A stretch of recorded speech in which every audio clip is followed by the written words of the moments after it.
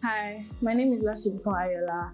I am at the Business Pathway at Westerfield College, Nigeria, and I am studying to become a consumer psychologist. I love Westerfield College because the students are very nice, the teachers are well rounded, the facilities are really great. The food at school and in the hostel is really good, and I'm really happy about that because I really love food.